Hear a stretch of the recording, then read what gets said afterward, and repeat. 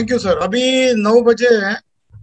अभी with people का concept बताने की, बताने का वक्त हो चुका है। मैं सुधीर राज सिंह सर से विनती करता हूँ कि कृपया वो अपना कंसेप्ट कंसेप्ट का वक्तव्य दें।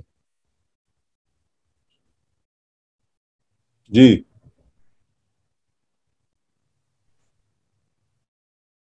आज हमने दिल्ली में जो कंसेप्ट का चार, साढ़े चार महीने की मेहनत का जो असर है, उसको पहली बार देखा। जो वीदा पीपल के जितने भी सक्रिय लोग हैं, जो कंसेप्ट को समझ गए हैं, जो जान गए हैं, वो साधारण से लोग मतलब उनमें कोई आदमी ऐसा नहीं जो पहले से जानता हो या पहले से लोगों को इकट्ठा करने का काम करता हो। वो यहीं से सीखे यहीं से जाने। और उन लोगों ने लोगों को मोबिलाइज किया उनको कंसेप्ट बताया। तो ये मान के चले थे कि दिल्ली में ना दरअसल लोगों को इकट्ठा करना सबसे मुश्किल काम है। गाँव में आप जाके खड़े हो जाइए और कहिए कि मैं गाँव वालों से मिलने आया हूँ तो गाँव में 200, 300, 400 आदमी बहुत आराम से इकट्ठे हो जाएँगे। किसी कस्बे में जाए तो वहाँ भी आराम से मोहल्ले में इकट्ठे हो जाते हैं आदमी। खाली ये कह दो कि शाम को चौपाल पे लोग आने हैं तो वो आ जाते हैं, आपकी बात सुनते चले जाते हैं। मगर महानगर में और महानगर में भी खास तौर से दिल्ली जैसे महानगर में, क्योंकि दिल्ली जो बसा हुआ है, वो जो वॉल सिटी बोलते हैं, वॉल सिटी का मतलब है जिसके सात दरवाजे होते थे, Kashmiri gate, Lahori gate, Mori gate, ऐसे सात गेट होते थे, उस दीवार के अंदर की जो दिल्ली है पुरानी, वो बेसिकली एक्चुअल दिल्ली है। और बाकी जो सैकड़ों गुना जो दिल्ली बसी हुई है, उसमें पूरे भारत के लोग हैं, उसमें सबसे ज़्यादा हरियाणा से, पंजाब से और बाकी इधर उत्तर प्रदेश से या मध्य प्रदेश, बिहार से आए हुए लोग। तो सभी लोग यहाँ बड़े आज़ाद मस्त के लोग हैं और सबके पास में बड़े संसाधन हैं और यहाँ आमदनी अच्छी होती है। तो यहाँ मूवमेंट को चलाना या लोगों को बताना बड़ा मुश्किल है। और यहाँ किराए के आदमी बहुत मिलते हैं। अगर आपने कोई रैली वगैरह करनी है तो यहाँ बैनर पट्टी सहित आपको पाँच सौ रुपए सात सौ रुपए पर आदमी के हिसाब से मिल जाता है। यहाँ बिज़नेस चलता है इस बात का। यहाँ जितने भी लोग दिल्ली में रैली करने आते हैं, रामनगर मैदान में, अगर आप सर्वे करेंगे तो उनमें एक ही चेहरे मिलेंगे, मगर झंडे बिल्ले अलग होंगे। उनका तय है कि उनको पाँच सौ रुपया सात सौ रुपये मिलता है, खाना मिलता है, और वो किसी का भी झंडा उठा लेते हैं, वो रोज उनका यही काम है।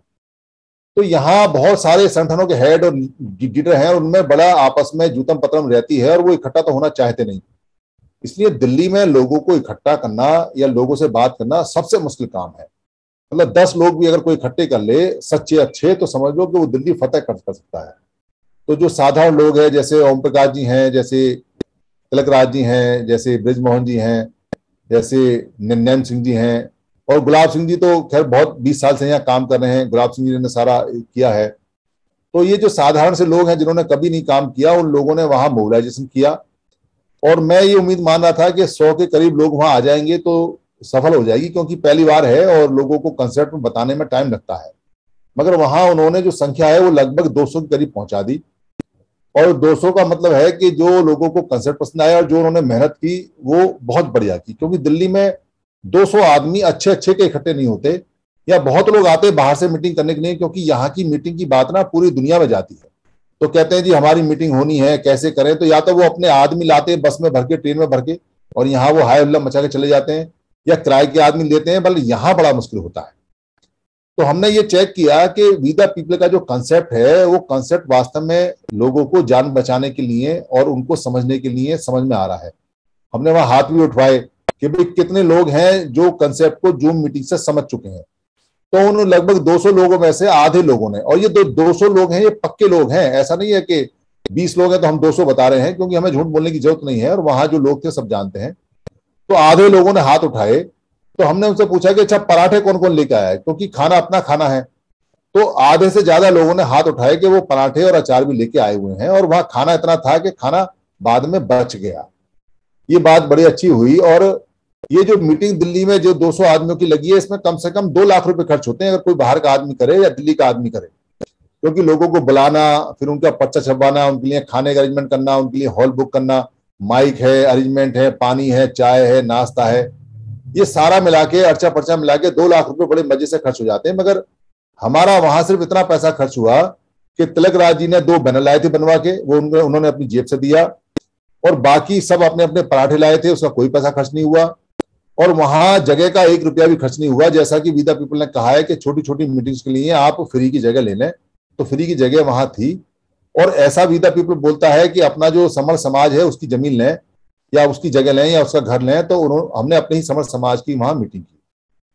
तो कई लोगों ने इस पर ऐतराज किया कि भाई आपने जो जगह ली है, वो एक मिनिस्टर है। हालाँकि वो मिनिस्टर मंत्री नहीं है।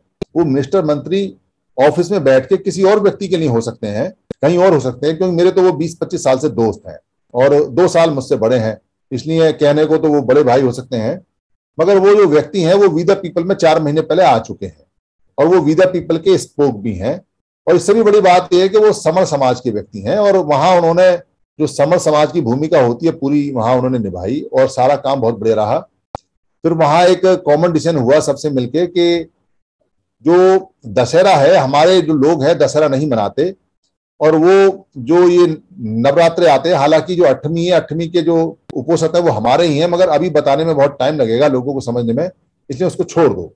तो दशहरे और अठवीं पे हमारे लोग मायूस हो जाते हैं कि वो क्या करें। तो ये बात तय हुई कि भाई, उन लोगों को काम देना चाहिए, उन लोगों को फेस्टिवल देना चाहिए। तो हर साल पूरे भारत में दशहरे से जो अगला संडे होगा, क्योंकि नागपुर में तो फेस्टिवल होता है हमारा। नागपुर में तो हम धम दीक्षा भूमि पर लाखों की संख्या में इकट्ठे होते हैं। तो जो नागपुर जाता है, दशहरे पे अच्छा है और सबको जाना चाहिए। मगर जो नागपुर नहीं जाता है, वो क्या करे? तो दशहरे पे अधिकतर लोग अपने कार्यक्रम लगाते हैं छोटे मोटे जैसे मैं पंजाब के कार्यक्रम में रहता हूँ हर साल दशहरे में, वहाँ एक धम्मा फेडरेशन है उस पर मेरा लेक्चर होता है। पिछले तीन साल से लगातार है। पिछली बार कोविड तो नहीं हुआ, इस बार भी है। तो जो अगर ना लगा पाए तो उनके लिए था कि भाई दशहरे से अगले दिन जो संडे पड़ेगा उसको सब लोग इकट्ठे हों और पिकनिक के रूप में मनाएँ, जहाँ कोई बाग है, बगीचा है, पार्क है या छोटी मोटी जगह है, वहाँ लोग मिले आपस में और वो अपना धम्म का दशहरा मनाने का, क्योंकि संडे को हमारे लोग खाली रहते हैं संडे को छुट्टी होती है तो मनाए। तो यहाँ बुद्धा गार्डन में कुछ फैमिली इकट्ठी होंगी, दस, बीस, तीस, पचास फैमिली जो भी है इकट्ठा होंगी और वो एक शुरुआत करेंगे, हर साल के लिए फिक्स हुआ है। तो ये मैसेज जाएगा सब में और ये मैसेज जा रहा है। तो वहाँ बिल्कुल जैसे हम जूम में मीटिंग करते हैं, वैसे ही मीटिंग हुई। मीटिंग बहुत सक्सेसफुल रही। हर व्यक्ति को वहाँ सुना गया, हर व्यक्ति का वहाँ इंट्रोडक्शन हुआ। बहुत परिवार जैसा माहौल रहा और जब वो पराठे इकट्ठे हुए तो किसी को नहीं पता कि उसके पराठे कौन से थे। सबने मिलके खाया, क्योंकि ये बुद्ध का नियम है कि संघ जब खाना खाएगा तो इकट्ठा करके खाएगा, उसमें भेदभाव खत्म हो जाएगा। किसी का खाना देसी घी का है, किसी का तेल का है, किसी का सरसों का है, वो सब बराबर हो जाएगा। जिसके हिस्से में जो परिवार खाना आएगा, वो खाएगा तो उससे एक खुशी की लहर सब में दौड़ी। जैसे ही वो अचार खुले और अचार की महक दौड़ी, उससे ज़्यादा चेहरे लोगों के चेहरे पर खुशी चमकी और कार्यक्रम अपने जो उद्देश्य के लिए, परिवार को मिलाने के लिए और विदा पीपल जुड़ने और जोड़ने का जो कार्यक्रम था, वो सफल रहा। बाद में राजेंद्र पाल एडवोकेट जो सामाजिक न्याय मंत्री हैं, उन्होंने कहा कि वो अब विदा पीपल में जो लोगो है, वो उसके अपने रथ पे लगाएँगे, अपनी हर जगह लगाएँगे। यानी वहाँ सब लोगों ने ये कहा, और भी लोगों ने कहा कि अब वो विदा पीपल लगाएँगे, अपने ग्रुप पे लगाएँगे। अपने फेसबुक पे लगाएँगे, अपने व्हाट्सएप पे लगाएँगे और अब ये वी का जो लोगो है, ये हमको बचाएगा। ऐसी बात वहाँ तय हुई और लोगों ने वहाँ संकल्प लिया कि अब हम वी लगाएँगे। सारी बातें वहाँ बहुत अच्छी रही। वहाँ जितने भी लोग आए थे, वो सब अपने अपने जितने भी काम थे, उनको भूल के सब विदा पीपल वहाँ हो गए। तो विदा पीपल का जो मकसद था, वो पास हो गया। दरअसल विदा पीपल का मकसद है क्या? विदा पीपल का जो मकसद है, वो बहुत छोटा सा और बहुत साधारण सा है। कोई आपसे पूछता है कि विदा पीपल का क्या उद्देश्य है तो आप एक सेंटेंस में कह सकते हैं विदा पीपल का उद्देश्य है, हमें समर समाज के लिए सुख चाहिए। सुख की लड़ाई है, हमको सुख चाहिए। तो वो कहेगा कि भाई सुख क्या होता है, अगर उसको ये पता नहीं है तो अलग बात है, मगर अगर पता है तो वो समझ जाएगा तो ये कहेगा सुख कैसे मिलेगा? तो सीधा सा मतलब है कि भाई सुख कैसे मिलता है? सुख वैसे मिलता है कि अगर हमारा दुख चला जाए तो हमारे पास जो बचेगा वो सुख होता है। हर प्राणी के अंदर सुख होता है, दुख उसको कवर लेता है, ढक लेता है। अगर उस दुख को निकाल हम चला जाए तो सुख तो पहले से मौजूद है। जैसे जब बच्चा पैदा होता है तो वो दुखी नहीं होता, वो तो खेलता रहता है। उसका दुख जब होता है, जब उसके पेट में भूख लगती है, तब वो रोता है। और उसकी भूख अगर शांत हो जाए तो वो फिर हंसने लगता है। तो हम चूँकि बड़े बच्चे हैं और ज़्यादा उम्र हमारी है और हमारे खुद के बच्चे भी हैं तो हमें अपने बच्चों का सुख चाहिए। हमें अपना सुख चाहिए, अपने माता पिता का सुख चाहिए तो हमें अपने रिश्तेदार का भी सुख चाहिए तो हमें अपने दोस्त का भी सुख चाहिए तो हमें अपने मोहल्ले का, अपने सारे पड़ोस का, गाँव का, तहसील का, पूरे जो पूरा देश है, उसमें अपने लोगों का सुख चाहिए। तो अपने लोगों का ही सुख क्यों चाहिए? अपने लोगों को समण बोलते हैं पुराने समय में तो समण का ही सुख क्यों चाहिए? क्योंकि वमण तो पहले से ही सुखी है। उसके पास सुख की सब चीज़ है। उसके पास इज़्ज़त है, मान है, सम्मान है। उसके पास भरपेट खाना है बल्कि वो खाना उसके पास इतना है कि वो फेंक भी देता है सड़ा भी देता है उसके पास में सारी मोटर कार है उसके पास कोठी है उसके पास बंगला है उसके पास सारी एजुकेशन है उसके पास सारे इंस्टीट्यूट है उसके पास सारी जमीनें हैं उसके पास में सारी दुकानें हैं उसके पास में सारी इंडस्ट्री है उसके पास में काम करने का अधिकार है उसके पास में सारे राइट हैं और वो आज की स्थिति में कानून बना भी सकता है और बिगाड़ भी सकता है वो कानून बनाने और बिगाड़ने की पोजिशन में भी है और वो देश के जितना बजट है, उसको कैसे खर्च करेंगे, उसकी भी शक्ति उसके पास है। हमारे पास कुछ नहीं है सिवाय जनसंख्या की। तो ये जो जनसंख्या है, ये सारे तालों की चाबी है। क्योंकि तो जनसंख्या संविधान ये कहता है कि जिसकी जितनी संख्या भारी, उसकी उतनी हिस्सेदारी सुख में है। उसको उतना पानी मिलेगा देश में, उतनी ज़मीन मिलेगी, उतनी उसको अपॉर्चुनिटी मिलेगी, उतने मौके मिलेंगे, उतने मौके उतनी नौकरियाँ मिलेंगी, उतना व्यापार मिलेगा और ये मिलेगा। संविधान में इसकी गारंटी है। मगर इस गारंटी को लेने के लिए आपको संख्या तो दिखानी पड़ेगी। आपको अब संख्या आप दिखाओगे, छह हज़ार सात सौ तैतालीस जातियों में टूटी हुई टुकड़ों में, या संख्या दिखाओगे आप चार लाख जो संगठन है उनमें टूटे हुए में तो फिर आपको जो हिस्सेदारी उतनी मिलेगी तो उसके उतनी हिस्सेदारी में तो आपको गालियाँ मिलेंगी, उतनी हिस्सेदारी में तो आपको बेजती मिलेगी, उतनी हिस्सेदारी में तो आपका सब कुछ छीना जाएगा उतनी हिस्सेदारी में जो आप इतने टुकड़ों में टूटे हुए हो, आपको कुछ नहीं मिलेगा, क्योंकि आप पिटोगे तो आपको बचाने कौन आएगा?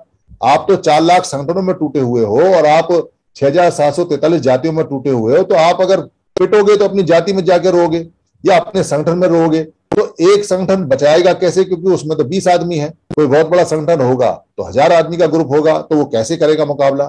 तो हमारी जो समस्या है, जो हम पिट रहे हैं और जो छित रहे हैं उसको हम देखते नहीं है और हमको देखने नहीं देते हमारे नेता संगठनों के या हमारे जाति के जो नेता बने हुए हैं, वो हमको नहीं देखने देते। क्योंकि अगर हमने ये देख लिया कि हम अलग अलग रहने से पिटते हैं और इकट्ठे रहने से हम पीटने की स्थिति में आ जाते हैं, फिर हम लोगों को मारने की स्थिति में आ जाते हैं तो हमारा बचाव तो अपने हो जाएगा। क्योंकि जो डिफेंस है, जो हमारी मिलिट्री है, वो क्या कहती है? Best attack, best defence is attack. यानी कि आपकी जो सुरक्षा है वो सबसे पहले हमला करने में है। यानी इससे पहले आपके ऊपर कोई हमला करे, आप उस पर हमला करोगे तो आप तो अपने आप बच गए। फिर आपको बचना नहीं पड़ेगा। हाँ आप पर कोई हमला करेगा, तब आपको बचना पड़ेगा। तो वही ये कहता है संविधान कि भाई, अगर आपको बचना है तो आप इकट्ठे होके और कानून बनाने वाली पोजिशन में आ जाओ। तो जब आप कानून बनाने वाली पोजिशन में आ जाओगे तो फिर आपके कानून पर हमला कौन करेगा? फिर तो आपने अटैक कर दिया ना। आपने पार्लियामेंट के संविधान की बनाने वाली कंपनी पर अटैक करके उसको अपने कब्जे में ले लिया। आपने कानून बनाने शुरू कर दिए तो आपके कानून पर कौन अटैक करेगा? आप तो सेफ़ हो गए ना। आपका संविधान सेफ़ हो गया, आप सेफ़ हो गए। तो इस सेफ़ गार्ड को लेने के लिए, इस संविधान के हक को लेने के लिए, इस कानून बनाने वाले हक को लेने के लिए, इस वहाँ पर ये लिखने के लिए कि हमारे भारत में जितने समल लोग हैं, उनको रोज़गार की गारंटी मिलनी चाहिए, उनको ये काम मिलना चाहिए, उनको इज़्ज़त मिलनी चाहिए, उसके लिए आपको कुछ नहीं करना। ना आपको पढ़ना है ना आपको लिखना है ना बड़ा अफसर बनना है ना छोटा अफसर बनना है ना दुकान खोलनी है ना मकान खोलना है ना इंडस्ट्री खोलनी है ना आपको कहीं पे जाके युद्ध करना है ना हथियार उठाना है ना डंडा उठाना है ना गाली देनी है कोई काम नहीं करना है आपने संविधान में साफ़ लिखा हुआ है कि ऐसे कोई काम करने वाले के लिए सजा होगी आपने क्या करना है आपने तो इकट्ठे होना है बस और इकट्ठा होने के लिए क्या करना है आपने अपने दूसरे साथियों को बोलना है कि भाई इकट्ठे हो जाओगे तो बच जाएँगे अगर जुड़ जाएँगे तो बच जाएँगे, क्योंकि तो जैसे ही आप जुड़ जाओगे, फिर वहाँ आपका कोई भी प्रतिनिधि है या कुछ भी है, उसे आपकी बात माननी पड़ेगी, वरना उससे आप हटा दोगे तो वो फिर आप कानून बना लोगे। आप अगर इकट्ठे हो जाओगे तो आपने अगर कंपनी वाले से ये कह दिया कि भाई कंपनी वाले, इसमें हमारे आदमी तो काम करते नहीं तेरी कंपनी में तो हम तेरी कंपनी का सामान खरीदना बंद कर देते हैं। तो वो कहेगा, भाई साहब, मैं आपके आदमी इसमें लगा देता हूँ और उनको पूरा पैसा भी दूँगा, आप मेरा माल खरीदते रहना। वरना हम कहेंगे, भाई, हम कंपनी खोल देते हैं क्योंकि कंपनी तो हम ही चलाते हैं। भाई, ये ईंट गारे को कंपनी थोड़ी बोलते हैं। ये जो लोगों ने टीन शेड डाल रखे हैं या ईंट गारा है या मिट्टी है, इसको कंपनी नहीं बोलते। कंपनी तो जो उसके अंदर काम करने वाले लोग होते हैं, मजदूर होते हैं, वो कंपनी होता है। किसी आदमी के पास में बहुत बढ़िया इंफ्रास्ट्रक्चर है, बहुत पक्की वो हवेली बना ले, बहुत पक्की इंडस्ट्री बना ले, बहुत पक्का वो शेड डाल ले, बहुत बढ़िया बढ़िया वो जर्मन से मशीन खरीद के ले आए बहुत बढ़िया उसको सब कुछ करे, कच्चा माल भी हो और उसको चलाने वाले ना हो, क्या करेगा वो? कूड़ा है। तो चलाने वालों से कंपनी होती है, इसलिए कंपनियाँ बंद हो जाएँगी या फिर उसमें हमारा हिस्सा होगा, जब हम इकट्ठे हो जाएँगे तब। कोई आदमी ये कहे कि भाई, मार्केट में हमारा हिस्सा कैसा होगा? अरे भाई, जहाँ संख्या 115 करोड़ लोगों की है, हमारी अपनी तो खरीदार भी तो 115 करोड़ हम ही हैं। भाई, सबने कपड़े पहन रखे तो कपड़ा तो खरीदते ही हैं। सबने चश्मे लगा रखे चश्मा तो खरीदते ही हैं। सब घर में रहते हैं तो घर तो बनाते ही हैं, सब खाना खाते हैं तो बाज़ार से खाने का सामान तो लेके आते ही हैं। तो 115 करोड़ लोग जो सामान खरीद रहे हैं तो बाज़ार किसका है? बाज़ार बेचने वाले का नहीं होता कभी। बाज़ार बाज़ार कभी किसी दुकानदार का नहीं होता। बाज़ार उसका होता है जिसके खरीदार होते हैं, क्योंकि किसी ने बहुत बढ़िया दुकान सजाई, बहुत बढ़िया शोरूम खोला, और वो ये भी कह दे कि मैं एक के साथ एक मुफ़्त देता हूँ, या वो ये भी कह दे कि मैं आधे रेट पर सामान देता हूँ। तो भी अगर खरीदार उसकी दुकान पर नहीं जाएगा तो क्या दुकान है उसकी? वो तो बंद हो जाएगी, कूड़ा हो जाएगी, घाटे में चली जाएगी, खत्म हो जाएगी वो तो। और उस पर अगर ग्राहक जाएगा तो कोई छोटी दुकान भी है तो बड़ी हो जाएगी। तो दुकान कौन है? दुकान तो हम ही है भाई। ग्राहक तो हम ही है, मार्केट तो हम ही है। तो मार्केट हम है तो दुकान भी हम खोल सकते हैं, हमें खोलनी चाहिए, मगर तब खुलेगी जब इकट्ठे होंगे। उससे पहले नहीं खुलेगी। कोई कहता हो कि सामाजिक स्ट्रक्चर से हम जो सांस्कृतिक बदलाव है, उससे हम सारा काम कर देंगे या प्रबुद्ध भारत बनाने से हमारी समस्या दूर हो जाएगी तो हो जाएगी, इसमें कोई शक नहीं है। मगर उसके लिए इकट्ठा तो होना पड़ेगा, क्योंकि एक मत का लोग करने के लिए इकट्ठे तो करोगे। एक मत आप कोई सा भी एक मत के हो जाओ, कोई सा भी एक मत के हो जाओ प्रबुद्ध भारत में बाबा साहब ने कहा बुद्धिस्ट होना चाहिए, क्योंकि अशोक हमारे उस समय बुद्धिस्ट थे, बाबा साहब ने उस समय हमारे महापुरुषों को देखा कि बुद्धिस्ट थे, इसलिए वो बुद्धिस्ट बता के गए।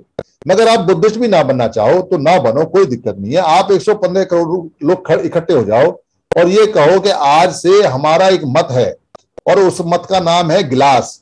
ये जो आप गिलास दे, देख रहे हो ये वाला गिलास ये गिलास है जिसमें पानी पीते हैं। हमको जी हम तो कौन से मत के आदमी हम तो गिलास के मत के आदमी हैं जिसमें पानी पीते हैं। तो आपका गिलास मत ही कामयाब हो जाएगा क्योंकि आप इकट्ठे हैं। इसलिए किसी मत में दम नहीं होता। उसके पीछे जो लोग इकट्ठे होते हैं उसमें दम होता है। आप कह दोगे 115 करोड़ लोग आज से हमारे मत का नाम है चम्मच। तो वो जो चम्मच मत का नाम है, वही पावरफुल हो जाएगा, वही दुनिया में फ़ेमस हो जाएगा, क्योंकि उसके पीछे 115 करोड़ लोग खड़े हुए हैं। और आप अलग अलग टुकड़ों में बटे रहो और बैठे रहो और कुछ भी कहते रहो। कहते रहो कि हमारे ऐसा है, हमारे वैसे हैं तो भी आपकी बात नहीं मानी जा सकती, क्योंकि आपके पीछे कोई है नहीं। इसलिए जो संविधान का बल है, वो संख्या बल में है। और हमारा बल संख्या बल में है, अगर हम बचेंगे और जीतेंगे तो इकट्ठे होंगे, तब बचेंगे। कोई आदमी ये सोचता हो कि मैं बहुत पढ़ा लिखा हूँ, मैं संविधान जानता हूँ, मैं धम्म पूरा जानता हूँ, मैं ये सारी चीज़ें जानता हूँ, मैं वो राजनीति पूरी जानता हूँ, मैं राजनीति का गुरु हूँ, मैं प्रोफेसर हूँ राजनीति का। और वो कुछ भी कहता रहे, वो कामयाब नहीं हो सकता क्योंकि संविधान में तो जनबल चलता है। संविधान ये कहा कहता है कि कोई पीएचडी आदमी है तो उसकी बात सुनूँगा। संविधान ये कहा कहता है कि कोई बहुत रिच आदमी है तो मैं उसकी बात सुनूँगा। संविधान तो ये कहता है कि तेरी भी एक वोट है, मेरा भी एक, उसका भी एक मत है और जो गरीब आदमी उसका भी है तो आप मत इकट्ठे कर लो। आप जितना ज़्यादा मत इकट्ठे कर लोगे, जितना ज़्यादा कंसेंट इकट्ठी कर लोगे, जितना ज़्यादा लोगों को इकट्ठा कर लोगे, संविधान उतनी आपकी बात मानेगा और तभी तक मानेगा जब तक संविधान लागू है। क्योंकि तो अगर संविधान लागू नहीं है तो संविधान कह देगा, भाई, मैं तो डेड हो गया, मैं तो मर गया, अब मैं आपकी क्या सेवा कर सकता हूँ? अब मेरे में संविधान में बहुजन का बल नहीं चलता, मतों का बल नहीं चलता, क्योंकि मैं तो खुद मृत हूँ। अब मृत में क्या डालोगे आप? अगर कितनी वोट डाल दो तो जीवित होगा नहीं। इसलिए इकट्ठा भी होना है तो टाइम से इकट्ठा होना है और पहले इकट्ठा होना है। और इकट्ठे होने, अब इकट्ठे कैसे हो गए भाई ये पोर्टल से 142 लोग हैं, ये भी इकट्ठा कर सकते हैं। क्योंकि 142 लोग अगर अपनी ज़िम्मेदारी समझे, आज दिल्ली की मीटिंग हुई तो उसमें जो साथी हैं, उन्होंने अपनी ज़िम्मेदारी समझी और 200 लोग वहाँ इकट्ठे कर दिए। उन 200 लोगों को आज वहाँ कंसेप्ट बताया, समझाया। उसमें सब लोगों ने कहा कि कंसेप्ट बहुत अच्छा है और इसका कोई जवाब नहीं है और ये कंसेप्ट हमें बचा देगा, इसमें कोई शक नहीं है। तो 200 लोग तो आए तो 200 लोग तो इकट्ठे हुए तो यहाँ 143 142 लोग हैं। तो दो दो लोगों को, रिश्तेदारों को, अपनी पत्नी को, अपने बच्चों को सिखाएँ कि जुड़ना है जुड़ना है जुड़ना है जुड़ना है जुड़ना है जुड़ना है। जुड़ेंगे तो बचेंगे, जुड़ेंगे तो बचेंगे, जुड़ेंगे तो ज़िंदा रहेंगे। अदरवाइज़ मर जाएँगे। ये बात उनको समझानी है। सौ तरह से समझानी है। इसको समझाने की कोई क्लास नहीं लेनी है। इसको समझाने के लिए कोई मोटी किताब नहीं पढ़नी है। ये तो हमारी प्राकृतिक किताब है। हमारे बुज़ुर्ग कहते हैं कि अगर हम इकट्ठे रहेंगे तो बच जाएँगे। हम दरअसल टूटे इसलिए हैं क्योंकि हम अलग अलग हो गए हैं। आज हम इकट्ठे हो जाएँगे। तो ये जो इकट्ठे करने का काम है, पहले हमारे दिमाग में आया कि भाई सभी के दिमाग में आता है। हमारे क्या आया कि भाई हमारे जितने भी संगठन हैं, उनको इकट्ठा किया जाए। क्योंकि काम तो उन्हीं का है। तो हमने कोशिश की, बहुत लोगों ने कोशिश की, हमने भी की। हमने इनकी पैसे भी इकट्ठे किए, हमने सभा लगाई, वहाँ इनकी दावत भी की, इनको बुलाया। और अफसोस की बात यह है कि जुड़ने और जोड़ने पे एक आदमी नहीं बुला वहाँ मना किसी ने किया, कहा सबने। तो हमें समझ में आया कि इनकी एक छुपी हुई इच्छा है, ये ये कह रहे हैं कि इकट्ठे तो हो जाओ, पर मेरे संगठन में आ जाओ। ये अभी भी मेरा मेरा मेरा मेरा चिल्ला रहे हैं और नेता मैं रहूँगा अभी तुम्हारा सबका। तो हम तो किसी को भी नेता मानने को तैयार है, मगर भाई, नेता इकट्ठे होकर आगे पहले अपना नेता मान लें। तो हम तो उसी को मान लेंगे। तो नेता कहते हैं, हम तो कभी इकट्ठे होंगे नहीं, तुम हमें नेता मान लो। तो हम लोग किस किस को अपना नेता माने? दी तो बड़ी दिक्कत हो गई। और वो इकट्ठे हुए नहीं। तो इस बीच में घटनाएँ घट गई। घटना घटी कि हमारा संविधान फिर एक पेज निकाल के फाड़ दिया, दो अप्रैल अट्ठारह का। दो अप्रैल अट्ठारह का निकाल के फाड़ दिया। सारे नेता भाग गए छोड़ छोड़ के, हमको कोई नहीं आया। कई नेता इकट्ठे नहीं हुए हमारा उस S C S T act को बचाने के लिए। तो फिर लोगों ने कहा कि भाई हम इकट्ठे हो जाते हैं। तो लोग इकट्ठे हुए। तो जब लोग इकट्ठे हुए तो संविधान ने कहा कि हाँ अब मैं तुम्हारा पन्ना जोड़ सकता हूँ, क्योंकि तो तुमने मेरी बात मानी है। क्या कहता है संविधान? कि जिसकी जितनी संख्या भारी, उसकी उतनी हिस्सेदारी। तो तुम संख्या बल में इकट्ठे होकर सड़क पे आ गए दो अप्रैल को तो मैं तुम्हारी बात मानता हूँ। तुम्हारा पन्ना जो कुछ लोगों ने फाड़ के फेंक दिया था, मैं उसको जोड़ देता हूँ। तो इसका मतलब संविधान में ताकत है, अगर आप इकट्ठे हो जाते हैं, तब संविधान आपकी बात मानेगा। और अगर हम इकट्ठे ना होते, दो अप्रैल अट्ठारह को तो संविधान क्या कहता? तो संविधान कहता है कि देखो भाई, आप इकट्ठे नहीं हुए तो मैं मजबूर हूँ, मैं तुम्हारी बात नहीं सुन सकता, क्योंकि जो लोग थोड़े बहुत इकट्ठे हैं, उन लोगों ने तुम्हारा पन्ना फाड़ दिया, अब मैं इसको नहीं जोड़ सकता। तो संविधान आपका पन्ना कभी नहीं जोड़ जोड़ पाता। इसलिए संविधान में ताकत नहीं है। संविधान में ताकत इकट्ठे हुए लोग देते हैं। ये सारे बिखरे हुए जो लोग हैं, संख्या बहुत हो सकती है, मगर वो संविधान की ताकत नहीं है, वो संविधान की कमज़ोरी है, वो संविधान की बीमारी है, वो संविधान को मार रहे हैं। जो संगठन अलग अलग काम करते हैं, वो रोज संविधान की हत्या करते हैं, वो रोज संविधान का एक पेज निकाल के फाड़ देते हैं। और हमसे आके क्या कहते हैं? संविधान खतरे में है, संविधान खतरे में है, संविधान बचाना है, रोते आके क्यों रोते हैं? पैसा दे दो उनको तो हम पैसा भी दे देते हैं। फिर कहते हैं, कार्यक्रम लगा दो हमारा, संविधान खतरे में लगा दिया तो क्या करते पैसे का? संविधान छपवा देंगे, संविधान की पाठशाला लगवा देंगे प्रियम्बल बटवा देंगे प्रियम्बल की पाठशाला लगा देंगे प्रियम्बल को पढ़ेंगे। संविधान का ज्ञाता आ जाएगा कोई ना कोई, यहाँ जो एक एक आर्टिकल की व्याख्या कर देगा। अरे तेरे व्याख्या करने से अगर संविधान बचता होता तो अब तक तो हज़ार बार बच गया होता। ये इतने सारे वकील हैं, ये संविधान का किसी चौराहे पे वाचन कर देते, पाठन कर देते, माइक लगा लगा के बोलते तो संविधान अब तक तो फूल का कुप्पा हो जाता और वो तो चार गुना मोटा हो जाता, उसके तो जुड़वा भाई भी पैदा हो जाते। अरे भाई, संविधान पढ़ने से कहाँ बचता है? संविधान तो साफ़ कहता है कि पढ़ने से नहीं बचता मैं। ये कुछ लोगों का काम है जो पढ़ता है, उनको वकील बोलते हैं, वो पढ़े वो कोर्ट में जाए, उनका काम है। बाकी लोगों का काम अगर है तो इकट्ठे होने का तब बचता हूँ मैं और इसका तो हमने उदाहरण देख लिया दो अप्रैल को, जब हम इकट्ठे हुए तो संविधान बच गया। तो बाबा साहब कहते हैं कि भैया संगठित रहो संगठित रहो संगठित रहो। तो बाबा साहब अब खुल के लिख के जाते हैं वहाँ के भाई, तुम सबको संगठित रहना है और एक ही नेता के लिए रहना है तो हम नेताओं की गलेवान पकड़ के कह देते हैं कि भाई बाबा साहब ने कहा मगर बाबा साहब ने सोचा होगा कि ये जो मेरी औलाद है, मेरे बाद पढ़ लिख के आ रही है, इतनी तो काबिल होंगी कि संगठित रहने का मतलब समझते हो। अब ये निरे गधे थोड़े ही हैं। कि इनको इतना भी समझ नहीं आता कि उनतीस लाख संगठन बना के कोई संगठित होता है क्या? या अलग अलग टुकड़ों में कोई संगठित होता है क्या? इन बेवकूफों को अगर इतना भी समझ नहीं है तो उनका डूब के मर जाना अच्छा है। तो ये बात नेता तो कभी नहीं बताएगा कि बाबा साहब ने संगठित होने के लिए कहा है तो एक ही संगठन बनाने के लिए कहा है। उसका तो रोजी रोटी बंद हो जाएगी। भारत में जितने भी नेता हैं वो सब बेरोजगार हैं और वो बेरो, बेरोजगार हैं इसलिए नेता बनते हैं क्योंकि ये रोज़गार है। चंदा लेना एक रोज़गार है। और चंदे के लिए नई नई समस्या जो आती है सरकार की तरफ़ से, उसका वो हवा दिखा के अपना रोज़गार चलाते हैं। और ये एक दूसरे को इसलिए कुछ नहीं कहते क्योंकि ये रोज़गार कर रहे हैं। तो बहुत सारे जो संगठन चलाने वाले लोग हैं, उनको बड़ा बुरा लगता है। कहता है वी पीपल वाले लोग कहते हैं, जी, संगठन बेकार है। संगठन ऐसा करता है, चंदा खाता है। अरे भाई, देखो, हम कहते हैं कि हमको तुम गलत सिद्ध कर दो, कि तुम सब लोग ठीक हो, अच्छे हो। और तुम अलग अलग रह के काम करना चाहे तो करो, मगर परिणाम कहाँ आए? परिणाम तो बताओ ना। रिज़ल्ट कहाँ आए? बस रिज़ल्ट तो आए हैं, वो कहते रिज़ल्ट तो आए हैं हम भी मानते हैं रिज़ल्ट आए उल्टे रिज़ल्ट आए हैं।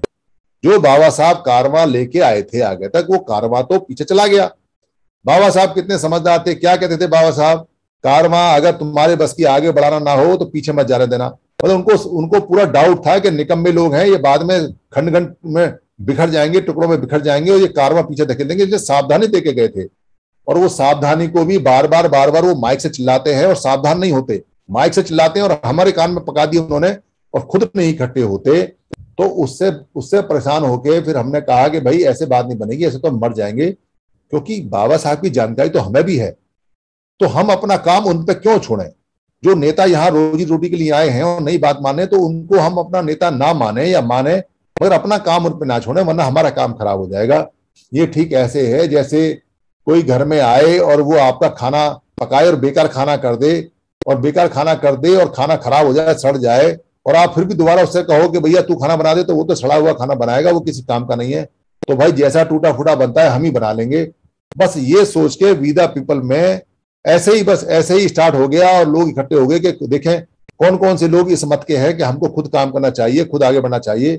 तो पता चला देश में तो लाखों लोग तैयार बैठे हुए हैं नेताओं को छोड़कर।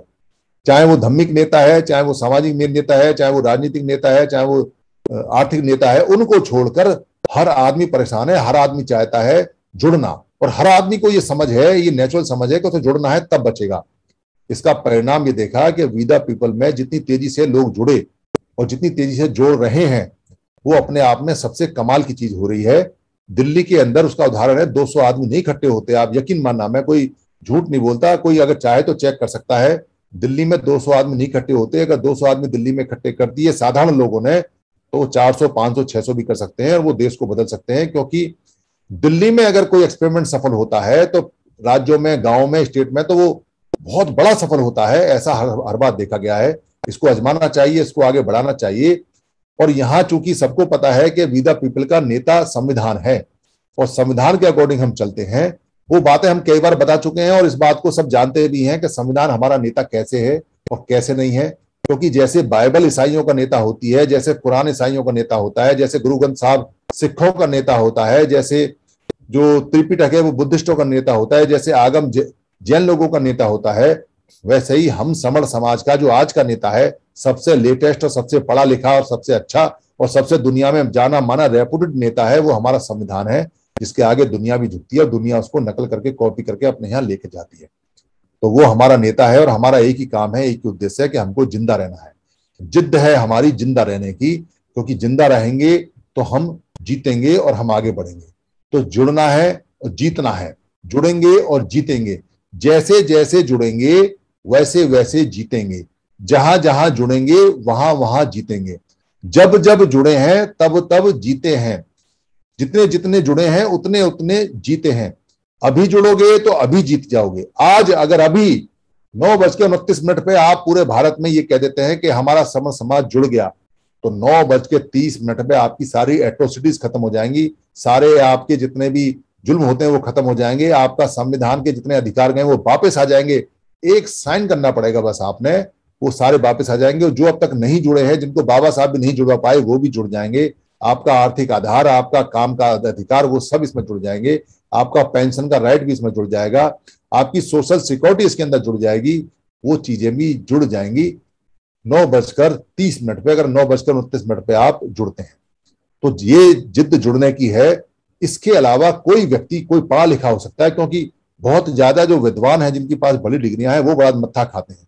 देखो, कॉमन आदमी तो समझ जाता है, जो समझदार है, वो समझ जाता है, मगर जो ज़्यादा पढ़े लिखे हैं वो बड़ा मत्था खाते हैं, क्योंकि उनको लगता है कि यूनिवर्सिटी खुलेगी तो हमारा कल्याण होगा। किसी को लगता है कि जी हम इलेक्शन में जाएँगे तो हमारा कल्याण होगा। किसी को लगता है जी कि हम बिज़नेस करेंगे तो हमारा कल्याण होगा। किसी को लगता है जी कि हम सांस्कृतिक बदलाव करेंगे तो हमारा कल्याण होगा। और बाबा साहब ने तो सारे काम करे हैं। तो बाबा साहब को पढ़ लो तो बाबा साहब कहते हैं, सारे काम करने हैं। बाबा साहब ने सारे काम करे हैं, इसलिए किसी काम को मना नहीं किया। तो वी द पीपल जो समर संघ है, वो कहता है कि भाई जो जो लोग जो जो लोग ये सारे काम करते हैं वो इकट्ठे हो जाओ। बस जो जितने राजनीतिक है वो राजनीतिक इकट्ठे हो जाओ जितने धर्मिक लोग हैं वो इकट्ठे हो जाओ। अब हमारे पास इकट्ठे होके आओ। इकट्ठे होके आओगे तो हम सहायता करेंगे तो हम आपके साथ हैं वरना हम बहुत तेज से इकट्ठे हो रहे हैं। अगर तुम इकट्ठे होकर नहीं आते हो तो जब तक इकट्ठे नहीं होते हो तब तक भैया तुम्हारा बही खाता बंद तुम्हारी पर्चियाँ बंद तुम्हारा अकाउंट बंद तुम्हें पैसा नहीं, नहीं, नहीं दिया जाएगा हमारा पैसा बर्बाद हो रहा है।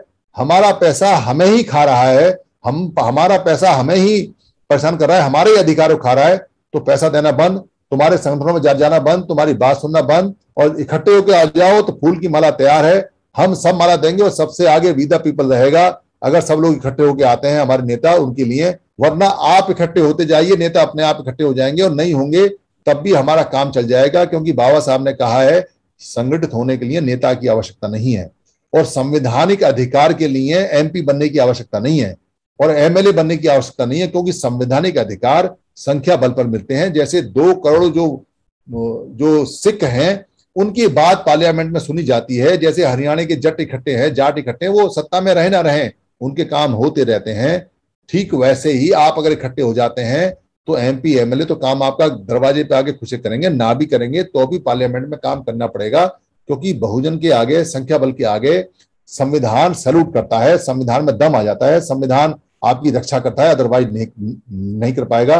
तो जिद्द है ज़िंदा रहने की जिद्द है जुड़ने की। जुड़ेंगे जीतेंगे और कैसे जीतेंगे लोग कहते हैं पूछते हैं क्या करें जी हम? भाई कुछ नहीं करना आपने ये जो वी का साइन है इस वी के साइन को लगाते जाओ आप। दीवार पे घर पे पोस्टर पे साइकिल पे स्कूटर पे टेलीफोन पे मोबाइल पे किताब पे गाड़ी पे बस में मेट्रो में वी भी लगाते जाओ। इसका फ़ायदा बहुत है कि अगर आप कहीं जा रहे हो और आपकी कार के पीछे वी लगा हुआ है और किसी भाई की मोटरसाइकिल पे भी लगा हुआ है तो आप छूटते ही कहोगे अच्छा एक परिवार का हमारा मेंबर है। आपका अगर आगे जाकर छोटा बहुत एक्सीडेंट हो जाता है या कोई बात इमरजेंसी हो जाती है तो वो आपकी मदद करेगा। इसका सड़क पे भी फ़ायदा है, इसका घर पे भी फ़ायदा है, इसका समाज में फ़ायदा है, इसका देश विदेश में फ़ायदा है। आपकी जो पहचान है, वो वी है। जैसे जैसे हम की पहचान आप करते जाएँगे वैसे वैसे जीतते जाएँगे। दुनिया की कोई ताकत हम वाले आदमियों को हरा नहीं पाई है। मैं वाले तो सारे हारे हैं। मैं वाले सब हारे, मगर हम वाला आज तक कोई नहीं हारा। इस बात को ध्यान रखना। हम बनना है वी बनना है विदा पीपल बनना है हम जीत जाएँगे जिद है जुड़ने की जुड़ेंगे जीतेंगे धन्यवाद। Thank you thank you very much Sunil sir बहुत ही बढ़िया कहा आपने कि संविधान हमारा लीडर है और हम जुड़ेंगे तो सब कुछ सारी समस्याओं का समाधान हमें मिलने वाला है। सर आ, हम आप आपका शुक्रिया अदा करते हैं क्योंकि हर दिन आप इतनी अच्छी बात कर देते हैं कि दिन भर वही उसी के ऊपर हम सोचते रहते हैं। आपने दिल्ली के कार्यक्रम के बारे में बताया, वहाँ पर कोई नेता नहीं था, सारे लोग इकट्ठा इकट्ठा वहाँ पर हो गए थे और संविधान को नेता मानकर ही सब लोग हम हम अपना ये मिशन आगे चलाएँगे।